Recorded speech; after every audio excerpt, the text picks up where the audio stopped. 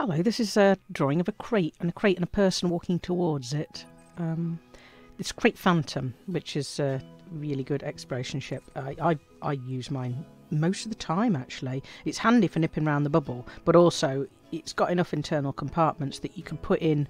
I, I think I've got an SRV bay, a couple of AFMUs, I think a limpet controller, repair limpet controller as well, I think but yeah, it's it's really it's really versatile. It's lighter and it, it's not quite as effective in a combat situation. Like Krait Mark II, you can get a, a, ship fighter bay in there, but you don't get that on the Krait Phantom. It's a stripped down sort of version.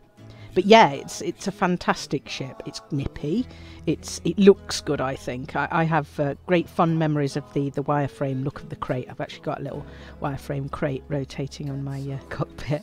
We've got a little Thargoid and a little Krait rotating it's kind of multi-role in the way that the Cobra is for the smaller ships, but this is a medium-sized ship, so you can still use it at outposts and stuff, and it's, it's small enough to squeeze into awkward places on planets when you land. Whereas you know your galumphing great big exploration anaconda, that's very difficult if you want to nip out to one of the distant Guardian sites and, and plonk it down there. You can't plonk it, not in the same way that you could with a Krait or ideally a diamondback but Krait is more useful because it's got that cargo space that you, you struggle with in a diamondback. So if you're doing a bit of collection for say a community goal or something, it's it's great for that. It's it's made by Faulcon DeLacy, which is uh, all your original game ships basically pretty much are Faulcon DeLacy ones. So your Cobra, Anaconda, Python, Sidey, and Viper.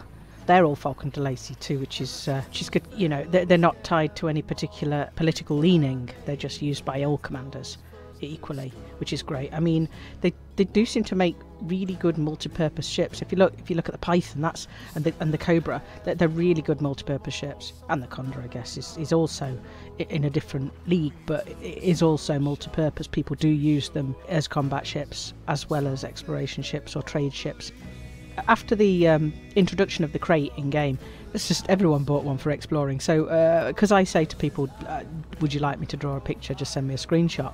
people would send me screenshots of their exploration ship uh, sunning itself on some distant planet, and all my pictures suddenly converted from like uh, asps in front of stuff to Kraits in front of stuff to commanders in front of Kraits in front of stuff, which is kind of funny.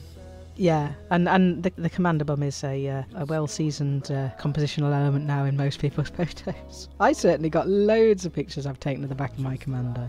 It's that kind of that third person feeling of what we're going to see, what can we find on this place, and this place looks icy and cold and a bit unwelcoming, but it's got that beautiful deep blue atmosphere that looks like it's uh, probably nitrogen or something like that. It certainly looks it looks that gorgeous deep bluish purple looks um, it looks like some planets I've landed on or indeed live on. Anyway, I um I, I best go. Thank you for watching.